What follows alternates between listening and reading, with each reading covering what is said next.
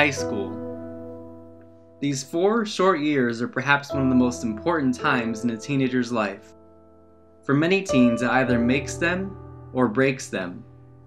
Most students aspire to be successful in life by attending college and earning a degree, leading to a well paying career that they enjoy participating in.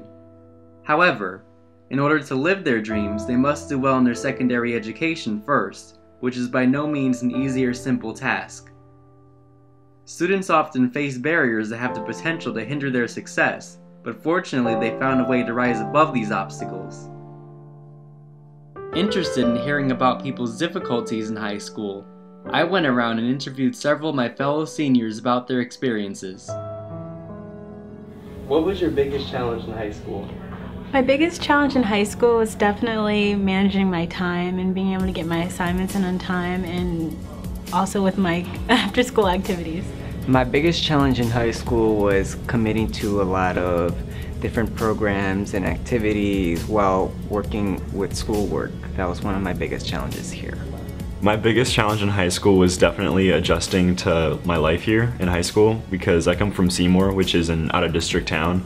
And um, coming here, I didn't know anybody my first day of school. I was completely lost and alone. So I had to make friends my own way without knowing anybody through my past experiences. So that was pretty rough.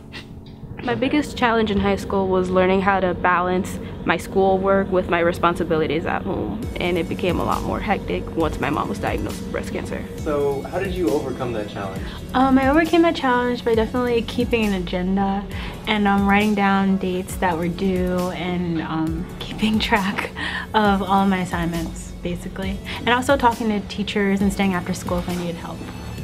Overcoming those challenges is was pretty difficult and I mean honestly right now I there's still there's no concrete answer to solving this issue but one of the ways that can help solve the issue is writing an agenda. I have an agenda, I write things down, I schedule things at home. I have my own little whiteboard and I write things down to make sure I'm getting things done on time. Another thing too is to make sacrifices sometimes. So one year I may join, for instance, the debate club, but then the next year I'm like, you know, what, I'm gonna take a break because I have other things that I need to get done. So also sacrificing some programs to do other programs that are more important is totally a way that I've done it. I overcame that challenge by simply making friends, and I've, I've always been shy, you know, as a kid in my middle school and elementary school days, but I really grew out of my shell in freshman and sophomore year, which is when I made the best friends of my life, so it's really that easy. I had no choice but to overcome it. I learned how to adapt to this new lifestyle or of having all this these responsibilities while doing this work and I just learned how to cope with it. I learned how to live with the fact that she had breast cancer as well as what I needed to do. So, would you say that high school is stressful? Um, I would say yes, high school is stressful, but if you but you're not alone in that sense like you just have to like you said time management is important. It'll make things a lot easier if you set goals for yourself and also talk to people. Like don't suffer alone. Like talk to your teachers talk to your friends. I'm sure they have unique ways to kind of get through that stress it depends. It depends on what you you you take because you can take like the AP classes and then like do a lot of after school activities which I have done and when you mix AP classes with after school activities it can get difficult. And especially this year senior year when you have two AP classes plus a class that at a university for independent studies and then having after school programs it can get pretty stressful. And once we get to senior year everything starts moving you like really fast high school was definitely stressful. Um, through social experiences, drama, schoolwork, um, everything compiles together at once and it seems to like be a constant flow of work and stress, so definitely. High school can be stressful, it depends though. If you have all easy classes, like that will happen your freshman year more than likely, then it'll be easy. It'll, they'll be easy on you mostly. But once you're a sophomore, junior, or senior, it'll get harder because you have more difficult classes. Then you have the chance to take a college class while you're still in high school. They offer AP classes, so it's a lot to take on. So what would your number one tip for freshmen be? My number one tip for freshmen would be to just take school seriously. I mean, I know at times it can be tough, but you know, think about your future, think about what you want to do after high school because in order to achieve your goals, you have to, you know, succeed in school and try your best. So think, think of this as preparing for your future think wisely. For freshmen, for coming into MBA, I think to think wisely, you know, which programs are going to be good for you, which uh, um, classes are good for you that are that'll benefit you, and I just I guess to be wise about it. Think about it. You know, how much impact is this gonna make me? Is this gonna make me stressful? Is this gonna make me okay?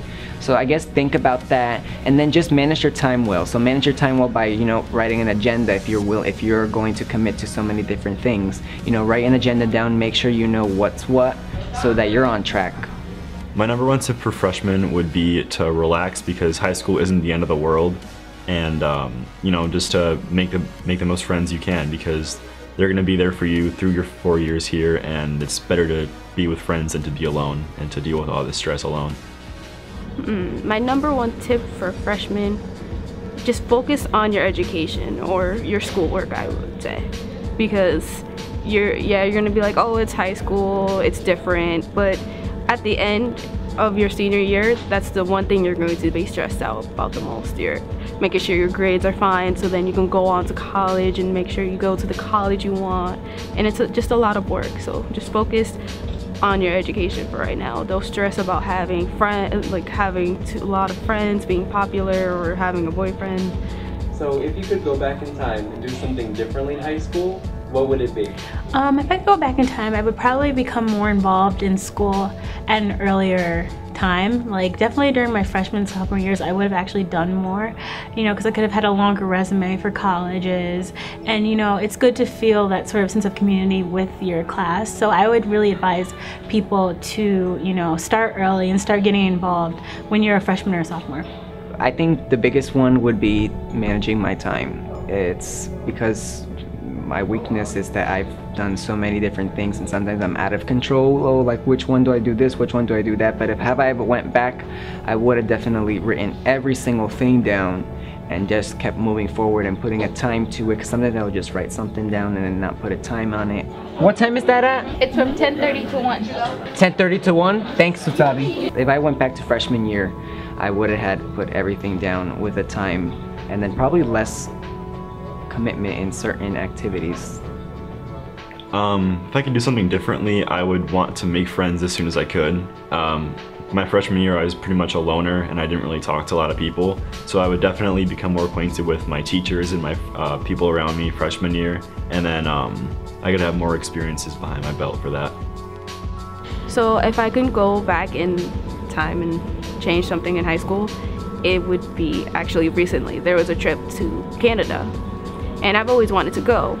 I've always wanted to travel and things like that, but I didn't get the chance to because I wasn't really stressed or really focused on the deadlines for that and everything. And I feel like because of that, I missed out on an opportunity that could have potentially opened my eyes to new things. And I like, I regret missing that. If you could summarize your time in high school in just three words, what would they be? Challenging, fun, and unique. Impactful, friendliness, and opportunities. Meaningful, stressful, and memorable. If I can sum up my high school career in three words, it would be stressful, time consuming, but fun. And I wouldn't change it for anything.